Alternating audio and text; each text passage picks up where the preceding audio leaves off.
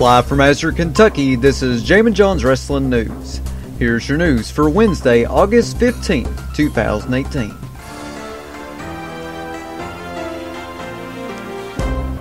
Triple H took part in a conference call to promote NXT TakeOver Brooklyn 4. Here are a few highlights courtesy of ProWrestlingSheet.com. Triple H says when Aleister's injury occurred, everything went back on the table in regards to shifting the card. At the end of the day, however, it made sense to go with a singles match for Ciampa and Gargano. Adding anyone else in there would have been a third wheel without a story. On the topic of NXT moving to Fox Sports 1, Triple H said, Time will tell, time will see, who knows, and I would never want to say never. On the topic of Neville's whereabouts, Triple H commented by saying, I'm not 100% positive, I would need to go back and look into that, to me, one of the most talented guys in the world, and time will see where that ends up. Triple H says last year WWE chose to batch release the Mae Young Classic, and even though it did well in the long run, they didn't see results immediately. That's why they chose to release it this year the way they put out the Cruiserweight Classic. And Triple H said once October 2019 gets closer, they'll have more conversations about a potential move to Fox Sports 1. PWInsider.com reports that WWE has hired James Long, the former head coordinating producer and video editor for Impact Wrestling. Long has reportedly been hired specifically for the NXT brand. Long was part of Impact Wrestling since 2014 and worked on the Broken Universe content with Jeremy Borash.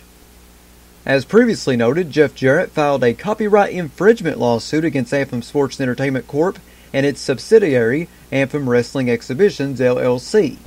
Since the news broke, Impact Wrestling has pulled four Global Force Wrestling branded DVDs for sale from the promotion's website.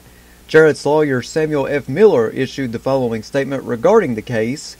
Mr. Jarrett does not have a comment on this case, but we look forward to our day in court before the jury.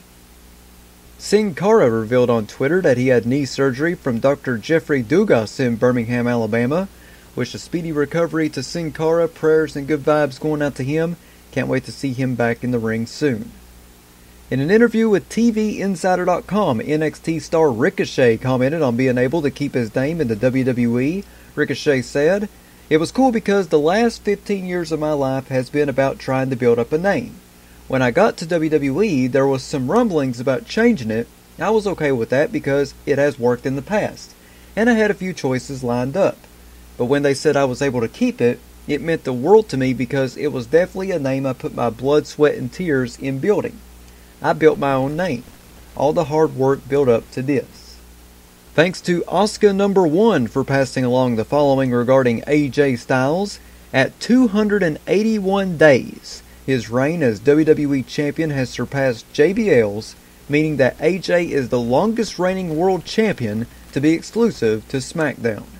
Big congratulations there to the phenomenal one, AJ Styles.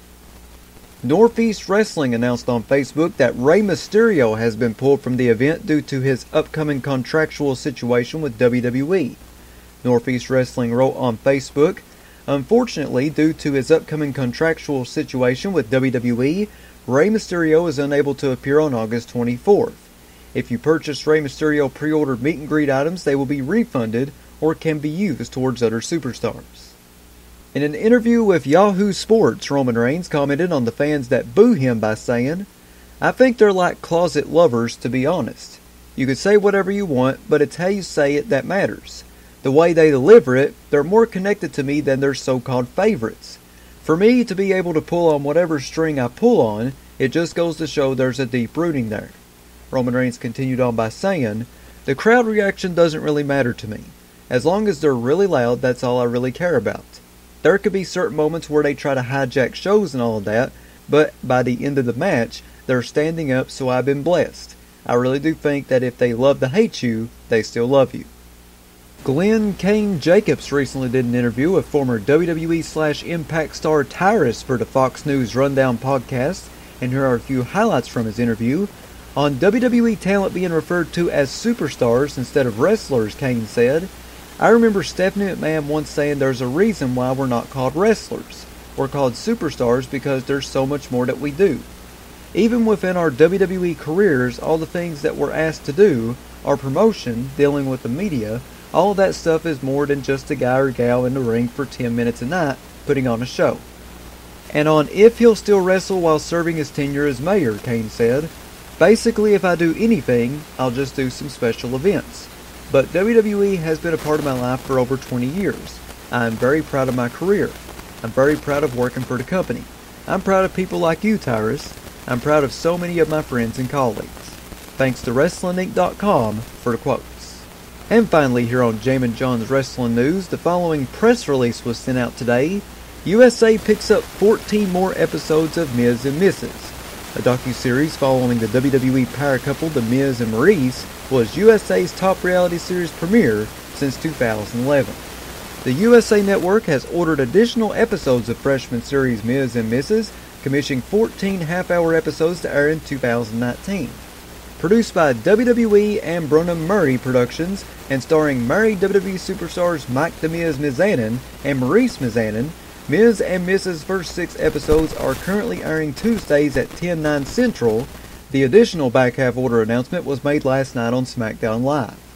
Following the humorous and hectic personal lives of the larger-than-life WWE superstars, Miz and Mrs. scored big as USA's top unscripted launch in more than seven years, averaging 1.7 million viewers during the first free premiere episodes.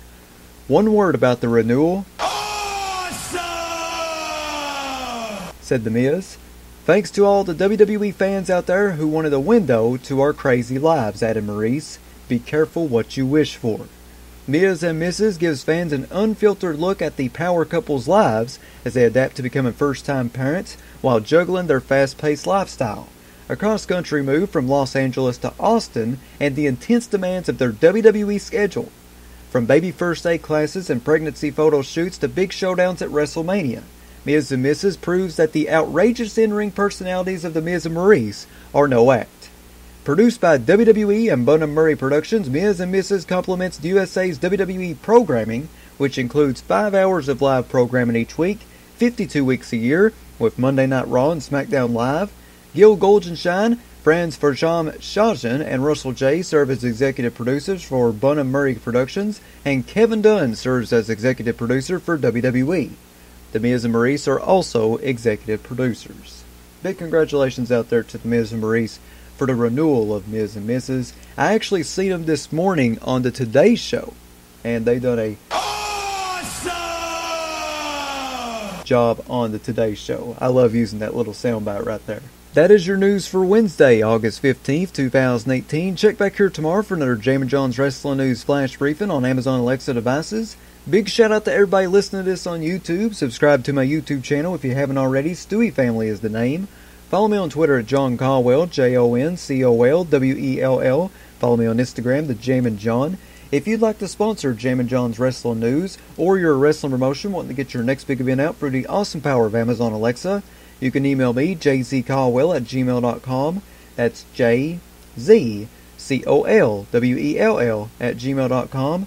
Big shout out to Ryan Hurdle for subscribing to my Patreon.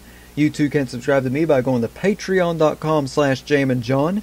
I have free packages on there ranging from free to $7. Not a whole lot of money. I would really appreciate it if you supported me a little bit financially. Once again, that's patreon.com slash John. This is Jammin' Jon saying thanks, goodbye, and I'll see you tomorrow.